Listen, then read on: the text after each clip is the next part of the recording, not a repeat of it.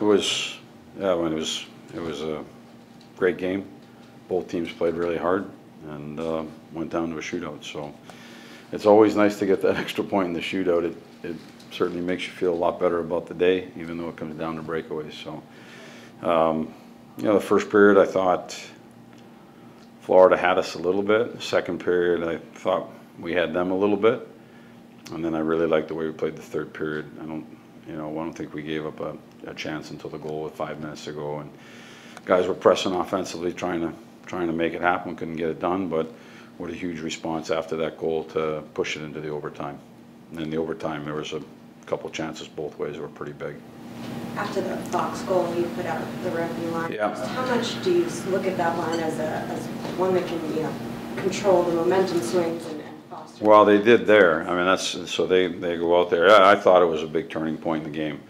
You know, it was, like I said, we, we had not generated a ton in the first period. We get the power play. In the second, we score a goal. The, um, the Goodrow line goes out, Vesey and Rempe, they put it behind them. They finish some heads, they get some shots on that. Next thing you know, we're back out with Trocheck's line and great, great goal, great play, great goal. And that even things up and, you know, there was, now there's lots of energy on our bench, lots of energy in the building, and, and I think from there, we just, we got better and better. What was your view of the Trocheck play in overtime where, I think it was with Verhaeghe where he pushed the puck underneath her? Um, I- I'd, have to go back, Okay. yeah. I guess just how impressive is his all-around game in, in tight games like this where he's able to make those big defensive plays? along the ball? Trocheck, Yeah. it's, it's been all year. I mean, he's been, uh, he's been a guy that's been logging every kind of minute that we could, we could offer. You know, from even strength, power play, penalty kill, into the game, four on four, three on three, face-offs. I mean, he's done it all for us. He's been outstanding. Um, You know, from the start of the year, he's been terrific. Is there a report on uh, Gustafsson? Uh, he's getting evaluated right now. What'd you make of the way the team was able to respond tonight? There was obviously two quick goals in the second, and they were able to, I mean, two quick goals in the second to tie the game, a late game tying goal with Panarin in the third. Seemed like it was a lot of response scoring. Yeah, I mean, the, I think the third, the third goal was the response, which we needed, right? We're running out of time, there's not much left on the clock at that point. Um, The, I thought the, just the, like I said, the, the way I kind of described the, the events, the way it went with the power play goal, the big shift, lots of energy, and then another goal, that put us in the game, and I thought that that set the tone for the rest of the game. That was, for me, that was definitely a turning point in the game. Is there Did you get, did you get a, a look at the play where Gustafsson went down? and- I did, And what, should there have been a penalty on that I don't know, it looked like he got elbowed in the head pretty good against the boards. I hate to see that happen, so.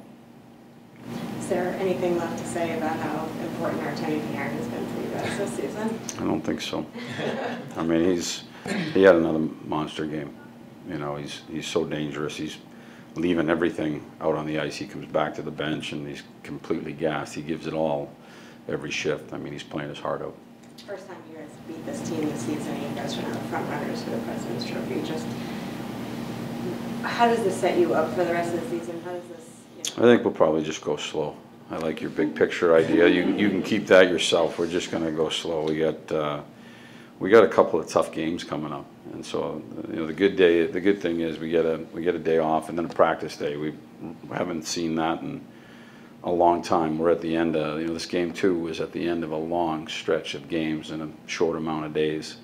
And guys responded the entire time.